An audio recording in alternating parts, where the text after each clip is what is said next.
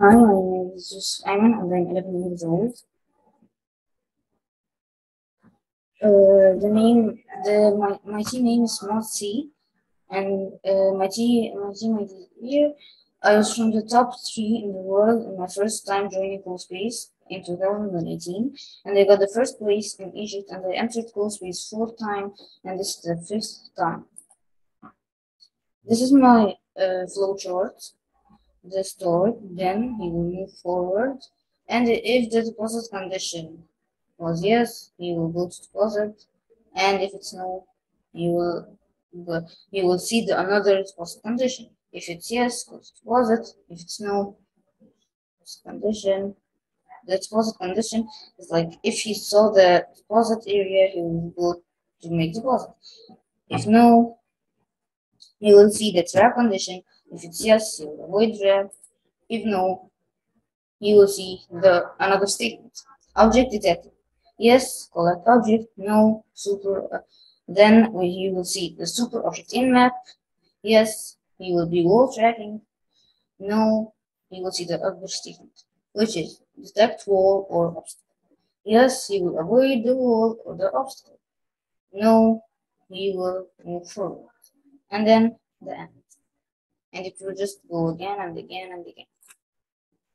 Ultrasonic, how I use it. I use the ultrasonic to review walls and to be sure that I'm at a place or a condition that allows me to be starting wall tracking or even avoiding obstacles, like that picture. Color sensors. I use the color sensors to collect objects to get a better score or to avoid trap, to not lose my objects, and to deposit or the objects. That um, collecting black, collecting red, collecting cyan, uh, trap avoiding, and depositing. How to avoid trap. The trap is the same size as the depositing area, but but it has the opposite function compared to the depositing area. If you enter the trap, which is the area inside the yellow mark, you'll lose every object you have. So you must use the yellow mark around the trap to avoid it, and for better strategy, you can let it, you can let the turn of avoiding the trap be in a direction that can help the robot get more objects or go to the depositing area or to track the wall. Like you can actually let the turn in a place that's help you, uh, like to deposit or, or you wall tracking.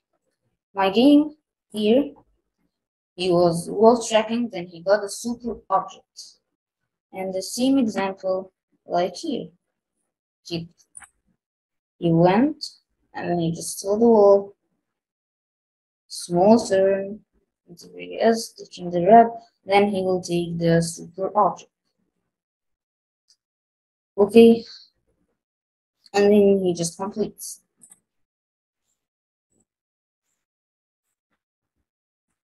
Applying knowledge gained to real rescue robot is a robot that has been designed for the purpose of rescuing people. It is used in mining accidents, urban disasters. Rescue robots were used in the rescue and response efforts to the September 11 attacks, nuclear disaster, and the 2016 uh, Amatrice earthquake.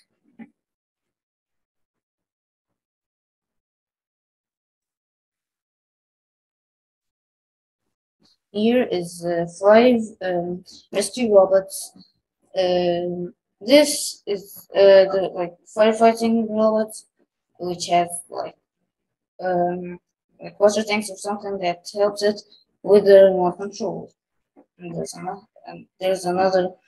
Um, the fourth one is the M uh, V5 uh, MVF it's actually like the same thing. It has cameras and it's with the remote control. But also the same thing. It's a firefighting robot.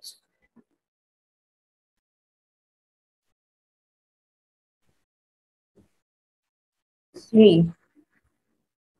The animal. It's a robot that can actually walk like uh, in different obstacles and it has actually like legs that can actually using its wheels to move faster or to pick objects. So,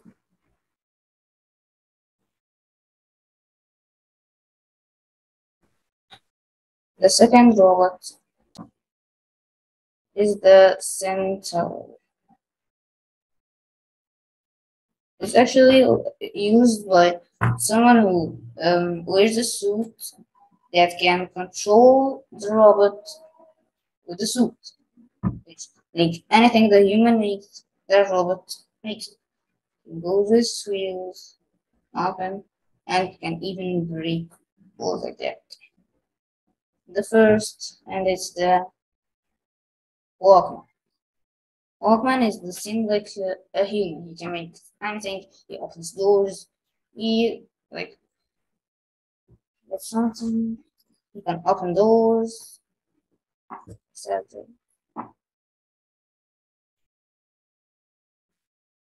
You can even drive a car.